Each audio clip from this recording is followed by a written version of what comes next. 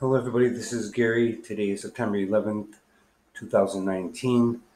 It is 5:28 p.m. Eastern Standard Time in the United States in Rochester, New York. And this is my second entry for today for my coping with schizophrenia vlog. And today I wanted to talk about meditation, um, Buddhist meditation, hypnosis, and should people with schizophrenia meditate. Um, Buddhist medita- meditation or any other kind of meditation, um, is it dangerous? Um, it can be. If you're meditating, it's possible that you'll have psychotic um, hallucinations and delusions. Um, I would not do any kind of meditation without talking to your psychiatrist or your physician first. Um, I do a lot of meditating on YouTube. There's a lot of uh, relaxation videos on how to meditate, Buddhist as well as other kinds of meditation. Um, but I got approval from my psychiatrist to do those meditations. I showed my videos to him, and I, or not my videos, but the videos that I was using to help relax me and meditate with.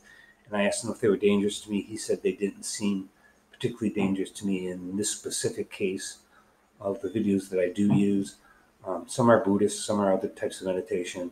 Um, but uh, done wrongly or done in a way where your psychiatrist or doctor is unaware that you're doing meditation.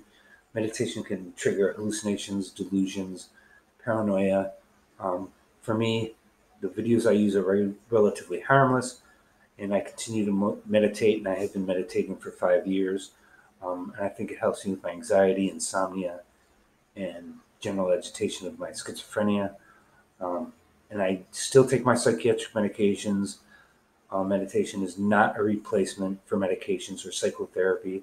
It's just um, an adjunct to those, um, added to those. Um, so I wouldn't start any meditation unless you got your psychiatrist or your doctor's approval and they've seen some of the videos that you're actually using for meditation. And if you're not using videos for meditation, discuss with them how you exactly you are meditating and what are the risks, if any, to your mental and physical health. Um, I just wanted to say that real quick. Thanks. Leave comments, suggest, subscribe, share, comment, uh, like, and subscribe.